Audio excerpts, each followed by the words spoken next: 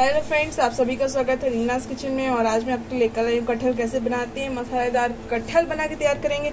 बहुत ही कम टाइम लगने वाला साथ में आपको ये भी बताऊँगी मैं कि कटहल को काटें कैसे। क्योंकि जब कटहल काटते हैं तो हाथ बहुत ज़्यादा चिपचिपे से हो जाते हैं तो उसका तरीका भी मैं आपको इस वीडियो में बताऊँगी। तो बिना देरी करे चलिए स्टार्ट करते हैं रेसिपी वीडियो को एंड तक ज़रूर देखें। मैंने यहाँ पे कटहल ले लिया है। अब हम इसको छीलेंगे। कटहल को छीलने से पहले हमने हाथ में और चाकू में तेल लगा लिया था।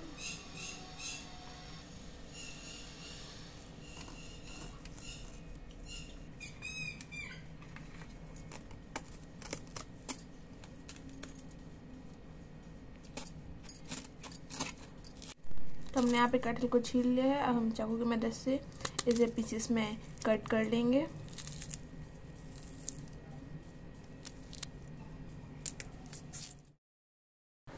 हमने जो कटहल है, उसको छोटे छोटे पीसेस में कट कर लिया है। मैंने यहाँ पे लगभग 500 ग्राम कटहल का यूज़ किया है। इसमें हम डालेंगे नमक।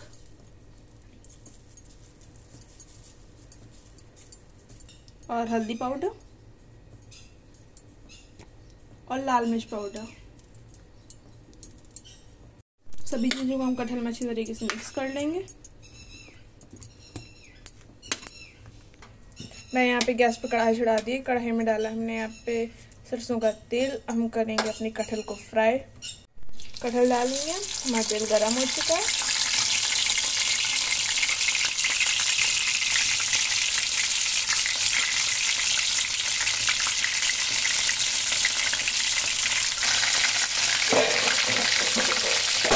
हम इसके लिए ढांक देंगे। हम इसे चलाते करेंगे फ्राई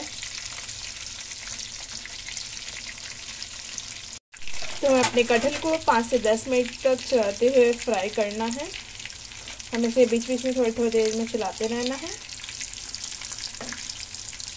हमारे कटहल फ्राई हो चुके हैं और मैंने इन्हें एक प्लेट में निकाल लिया है।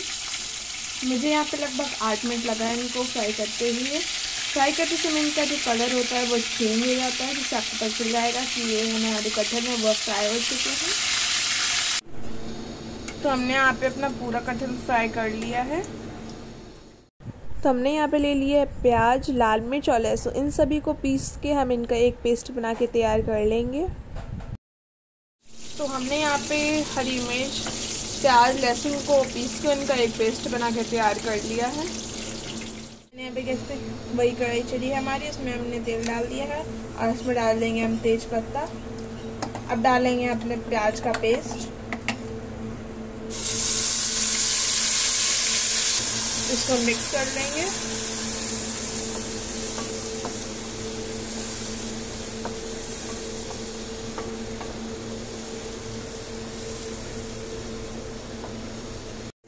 तो अपनी प्याज को यहाँ पे गोल्डन कलर आने तक इसे भूंजना है। यहाँ पे कटोरी है इसमें हम डालेंगे हल्दी पाउडर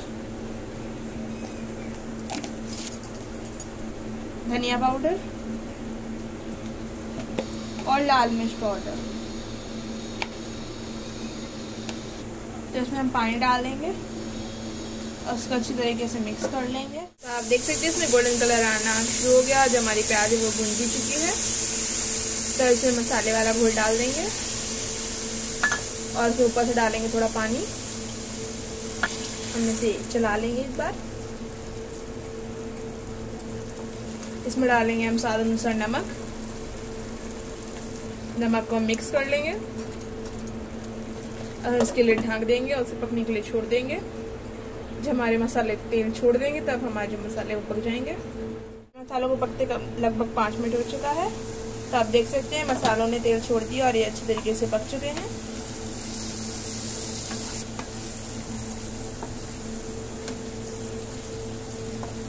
और हाँ इसमें अपना कटहर डाल देंगे।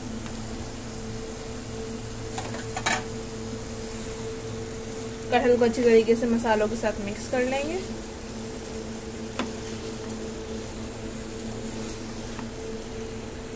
तो आप देख सकते हैं कटहल के साथ हमारे जो मसाले हैं, वो अच्छी तरीके से मिक्स हो चुके हैं। हम इसमें लिड ढक देंगे और इसे दो मिनट तक पकाएँगे मीडियम फ्लेम में। हम इसके लिड हटाएँगे, दो मिनट हो चुके हैं। जो हमारे कटहल है, वो बहुत ही बढ़िया इसकी स्मेल आ रही है, बहुत बढ़िया इसकी खुशबू है तो हम इसमें पानी डालेंगे।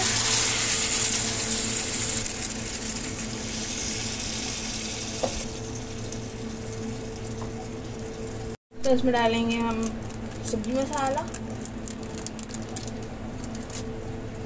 इसको मिक्स कर देंगे। हम इसको ढांक देंगे और इसको पकने के लिए छोड़ देंगे। लो फ्लेम में लगभग 10 मिनट तक। 10 मिनट हो चुके हैं, हम इसके लेटर आएँगे तो हमारा जो कटहल है वो पक के एकदम तैयार हो गया, बन गया ये, अच्छे तरीके से पक चुका है। और इसमें बहुत बढ़िया स्मेल भी आ रही है। तो हम डाल देंगे इसके पहारा धनिया।